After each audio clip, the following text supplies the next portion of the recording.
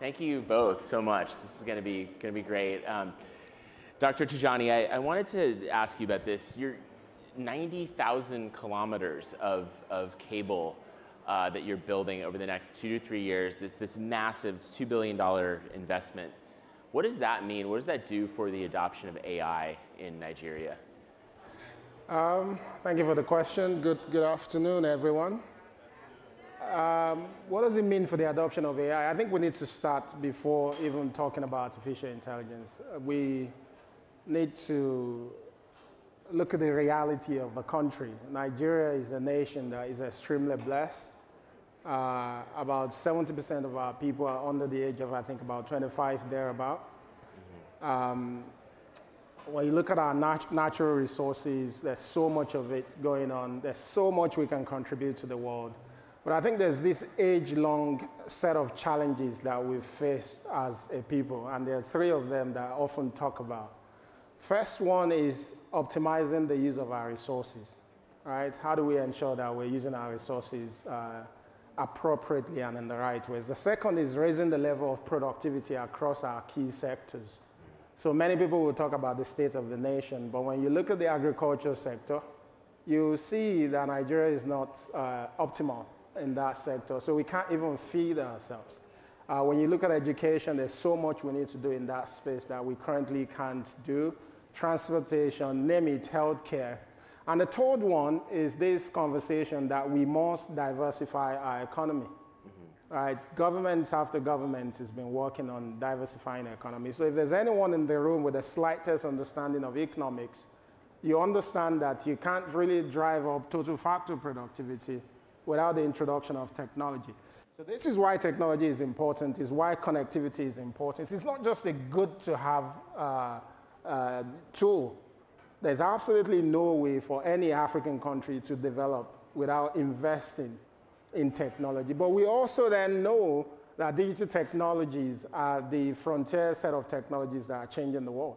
Right? We've seen it in Nigeria. If you look at the current startup ecosystem, which I was fortunate to be part of, part of when it started about 15 years ago, the current iteration of it, uh, Nigeria wasn't even rated as a destination for capital at all 15 years ago. Mm -hmm. But because we've prioritized the startup ecosystem, Nigeria is now top two on, on the list of destinations for funding for startups in Africa. So the idea of accelerating the deployment of good fiber optic network is really to give opportunities to every Nigerian regardless of where they find themselves. So if you're a young person in Calabar, you don't have to move to Lagos for your dreams to be valid, right? There's a global digital economy that you can be part of. There's content out there that you can consume and use to improve yourself. You can work remotely. You don't have to move to uh, New York or anywhere in the world to, to find good, good employment. So for us, the future that we're trying to build is solidly linked to ensuring that our people are deeply connected. And we have a president that is taking really difficult decisions. You know, whether people like these decisions or not, they're reforms that are meant to help us reshape the direction of our economy. But we can't reshape if we don't build. But we know that the young people will build, but you just have to empower them. Look at what we've done in entertainment. You know, people talk about entertainment from Nigeria, but people don't talk about how much connectivity is done to that. The fact that a young person can create a short video in a small corner of Nigeria, and that video can go viral all over the world. So we know that the secret to unlocking possibilities for Nigeria is ensuring that everyone is meaningfully connected, not just being connected via mobile phone, by the way, meaningful connectivity. Yeah. And I do want I want to ask Evi a question here about this. You, I know Credo AI is not in Africa, but you are in Brazil and expanding to other emerging markets in APAC. Um, and you're, really, you're out there talking about these, you know, to these countries that are, you know, like developing AI, right? And they all sort of look at it differently, right? And I just wonder if you could talk about, I mean, your, your role is to, is to figure out governance around AI, how to, how to make sure that it's implemented safely and, and according to regulations. But what are the different, different ways that countries look at this? Why do they, why do they all look at it differently? Yeah, great question. Um, I think you know, I had the, the pleasure of hearing uh, Renata Dwan speak last week, um, and she had this very funny um, critique of the United Nations that it moves slowly and breaks things. And I think that this is common refrain we hear in the governance space of we want to capitalize on AI. We need to make sure that we're using it, investing it, developing it, and governance is just going to get in the way. So a lot of the time that, that I spend at Credo AI is talking about how can you have regulation and governance uh, appearing and developing alongside investment and capacity in building for AI. So at Credo AI, that's our focus as a responsible AI governance platform. And when we're in these different markets, the enterprises are asking us, how can we build something responsible and sustainable while capitalizing on the benefits of AI because we don't want to be slowed down. We don't want things to break or not happen. Um, so we look at these regulations, we look at different policies in these markets, and there is a lot of commonality. So from an enterprise perspective, we talk about the ability to have a, a registry or an inventory of your AI systems being able to have human oversight, um, human in the loop, human over the loop. These are concepts we see in the APAC region. They're also in the United States and Europe. I think Africa has done an amazing job of investing in a lot of national AI strategy development and thinking about these principles as well. But how do you introduce transparency and accountability alongside the development is really our focus. And I would say at the enterprise level, um, we try to share these commonalities and build this into the process. Yeah, do you, do you agree with that, Dr. Tijani? Like this concept of, okay, we're kind of putting the cart before the horse here and talking about controls around this technology. And in the meanwhile, like, as you were saying before, we just need to get it here. We need to build it and, and use it no, no, we're not. I agree. Uh, and, and, you know, people need to understand where this is coming from. So whilst the world is just talking about AI thanks to uh, ChatGPT, this is something Global North has been investing in for years. Yeah. It's already in, in existence. It's matured. The reason why this conversation is hot at the minute is because of Frontier AI, which everyone knows that it has potentials to be extremely negative in terms of the outcomes for humanity. Uh, and that's why we've prioritized it. You know, if you go back to Nigeria, probably half of the people in the room will tell you, I'm wasting my time working on artificial intelligence. But I actually think every learned Nigerian, African should be pushing artificial intelligence because these are set of technologies that will eventually, it's already doing it, it will eventually determine what we think about, how we think, what we do, your mood when you wake up, Many people already wake up going onto their social media platforms. But these social media platforms are being controlled in terms of what you get to see. The algorithm behind them will determine what they want you to see. And they influence what you spend your day doing. But AI is going to be much more impactful in terms of how we are rebuilding the future of humanity, literally with AI. And there's no future where certain part of the world is left behind, where certain part of the world is not part of that development. So we may end up with massive divide in society because AI is being built from just the perspective of the global north. That's why we have to prioritize the collection of data set.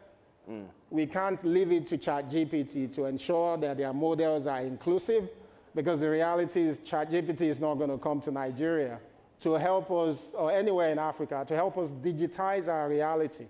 The bulk of our reality is still dark, is unconnected, is not being used to train a lot of these models. We have to accelerate it. We know artificial intelligence is good for humanity, but it's also dangerous if it's not inclusive. And we have to take responsibility for it. And that's one of your big initiatives in, in Nigeria is, is taking the country's data and making it accessible, right? And that's been a big problem with these data silos. Um, I'd, I'd be interested in Evi's view, or maybe there's a back and forth here on like what are the dangers in doing that? Like, what do you need to look out for as you as you sort of prepare this data for uh, for the these you know massive large language models? Yeah, well, I think uh, as Dr. Tijani has already articulated, it's important to have that accessibility uh, everywhere in the world, right? AI is a global product, it's a cross-border product in terms of how it's sourced and developed and fine-tuned and trained. So the importance of having data sets available in Africa that are um, culturally and linguistically diverse is going to be critical to the development of AI uh, on the continent. But I think thinking about this globally, I want to tie it back to an issue uh, related to AI literacy because it's something we hear a lot about the need to be AI literate. Um, it's something that regulations are calling for. You know, you must ensure that your organization, your enterprise has developed AI literacy. I, I think it's important to unpack what that looks like for AI because we often hear that um, if you are managing your data, if you're doing uh, proper data governance, then you're handling your AI risk. No, I want to point out that that's actually not the case because the concepts we've drawn upon from regulation like the General Data Protection Regulation in the European Union ask for you to be a good steward of the data. That's not going to be enough when you're managing AI risks. So again, when we think about building capacity, investing in AI, it's important to invest in AI literacy that also showcases the risks unique to AI, things like accountability, robustness, performance. Being able to understand that and develop those alongside the data center investments is going to be critical. Yeah, but I wonder if you worry about being held back in a sense, right? Like in the US, we have all these regulations that really prevent, we have a lot of data, but there's a lot more valuable data that we can't, that AI companies can't access. Do you worry about that sort of red tape in, in Nigeria? No, no, I don't. Um, I think we're fortunate. We're one of the few countries on the African continent that is now passed is uh, Data Protection Act. Uh, we have a Data Protection Commission, which is, yeah. I think, just about a year old. Uh, but the reality is the commission in itself, which I supervise, is still playing catch up. Right. Uh, you still find developers who are collecting sensitive data and taking them out of the country. Mm. Uh, you know, in the name of helping to build AI. So, so I think for Africa, we're still far from it. Uh, you know, for Nigeria, if I can speak directly to Nigeria, I think we're still far from the point where regulation will get in the way of uh, people building. Uh, but, but I think the approach we're taking is also saying to ourselves that this is not just the responsibility of government.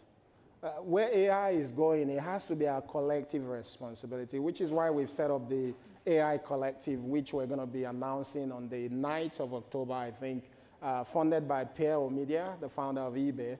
And the idea is to bring everyone from civil society organizations, startups, academic institutions, working in artificial intelligence together to help us implement our national strategy, but also ensure that the development of AI in the country uh, takes into consideration safety, but also ethics as well. And we're taking that a further step because we understand, again, government doesn't have all it takes to help us accelerate development of AI. So we're working on designing our national AI trust, which is going to be a body of people from the society that are reputable individuals. Government will have a seat on the trust, and their role will be to ensure that Nigeria is exploring, developing AI uh, ethically. But I think most importantly, because we're also building our large language model, we don't want to take a close approach to it, but we're exploring the possibility of commercializing it. And whatever we make out of it goes into the trust, and that fund is then used to develop AI uh, in the country.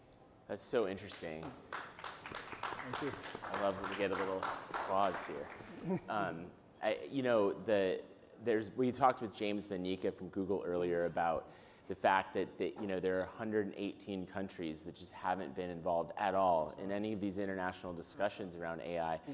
So you talked about within Nigeria, but what about outside? Are you, do, you, do you think that's something that needs to happen more in Africa and, you know? Absolutely. I'm actually particularly interested in how uh, developing countries and particularly countries in Africa, how we look for smart ways to be part of the AI race. Because as you know, uh, this is an expensive endeavor. Uh, typically, if you talk about AI in Nigeria, people will immediately remind you that we don't have enough electricity, so you can't be part of it. We don't have resources for compute, so you shouldn't be talking about it. Mm. Um, but my take is that there are creative ways in which we should be participating. Right? I think even on the electricity front, there's a unique opportunity for us because most people talking about investments in, in AI uh, and, and energy are thinking of more smarter, cleaner form of energy. So it's an opportunity for us to reimagine what that will look like. Uh, on the capacity front, uh, it's being projected that in a few years, Africa will power the world when it comes to workforce. Because many countries in the world, population declining, aging, whilst in Africa is growing. I think Nigeria, we're adding about 5 million or so people annually. Right? Just about 10, 15 years ago, our population was 160 million. Now we're 230 million. That's projected to continue to grow. So there's no future where Africa is not powering the workforce of the world, not just, not just for Africa. So we have a unique opportunity to also take the role of, of enlightening our people, skilling our youth, to ensure that they can actually power that development in the world. And I think lastly is that Africa can innovate around inclusivity in AI data set. Yeah. Because like you're saying, in Global North, you already have uh, digitized content. Mm-hmm. In Africa, we don't. So we can come up with really smart ways to help improve the quality of data set that is being used to train AI models. And that can be an innovation that we bring into the AI ecosystem, which we can easily monetize as well. Right. I think this is interesting, Evi. I wonder, you've been to all of these, I think, AI summits, right? Or uh, many of them. There's one coming up in Rwanda, right? Is that, is that on your radar? And like, I wonder if that's a, sh- a sign of a shift, that the conversation is kind of broadening. Yeah, um, I, I, think to Dr. Tijani's points already, the conversation needs to shift. It must. This is a global conversation the UN, to its credit, with the, the recent report released by the High Level Advisory Board on AI, emphasized that, that we need a disaggregated but global approach to not only developing and investing, but kind of resolving the asymmetries we see in information and capacity and governance for AI. So, yes, I think it's a necessary conversation. Um, it should be on my radar um, I'm, I'm hoping to, to be there. So I think that the conversation is important to have all these stakeholders at the table, um, making sure that we're developing the AI safety uh, measurements, metrics, um, ways to invest in that alongside the, the capacity development as well. And, and just to add to this, um, so you're not seeing investment and attention from a lot of countries because conversations around AI is technical. Right. And unlike many other technologies where your private sector can drive its development, there's absolutely no country in the world that is strong in artificial intelligence without the government getting involved. Mm-hmm. So I think the private sector folks needs to prioritize scaling, building the capacity and encouraging government to, to jump on. This is what I've seen. Uh, most countries are not coming on board because there's gap on the public sector side. So if you pay attention to it, any country that is listed in Africa is listed because there's some sort of knowledge in the public sector. It could be one or two people championing it. Mm. And most countries are not. So you may find countries with a startup ecosystem that is quite strong uh-huh. uh, on artificial intelligence, but still you will not find them participating in global conversation because this is not something that is being led just by the private sector. So I think we need to mainstream that, building the capacity of governments across Africa and the rest of the world to be able to engage this conversation. It's interesting. I, I think um, you know the the there's been a lot of data center growth in Nigeria, right? I mean, one of the leaders in the in the continent. Um, there's the Amazon GT Bank partnership. I thought was really interesting. Um, but where do you see that going? I mean, speaking of, of public private partnerships, I mean, are we talking about one day having accelerated compute clusters in Nigeria? Is that the goal? I think so. So, so full disclosure, I think Nigeria is still disadvantaged when it comes to these conversations. There are large hyperscalers that are looking to come to Africa. I think they prioritize uh, South Africa, Kenya ahead of Nigeria.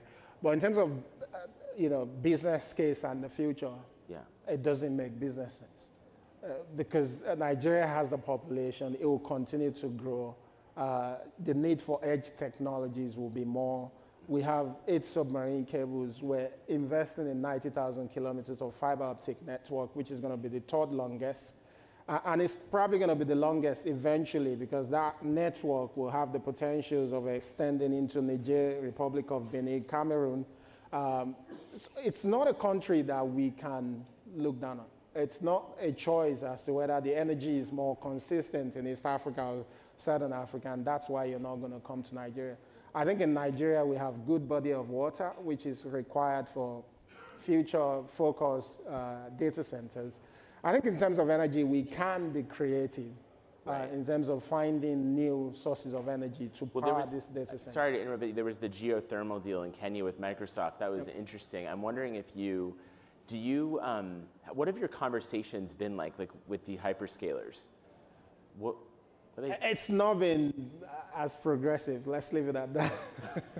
what are their, yeah. what's standing in the way? Like, what's their biggest what do they say is the biggest? Uh, it's, it's, a conversation that is much more than just a country and, and one, one hyperscaler or two. It's, it's, it's, it's also at the government level. If you look at what's happened in, in, in Kenya, it's not just been com- company to country, it's been country to country. The US worked with Kenya to make that deal happen. Yeah. And I know there's conversations as well uh, on possibilities in Nigeria. Yeah, maybe Evi, you can make a quick point on this. Like, is that is it important for these countries to be able to control their own fate when it comes to like inference and compute?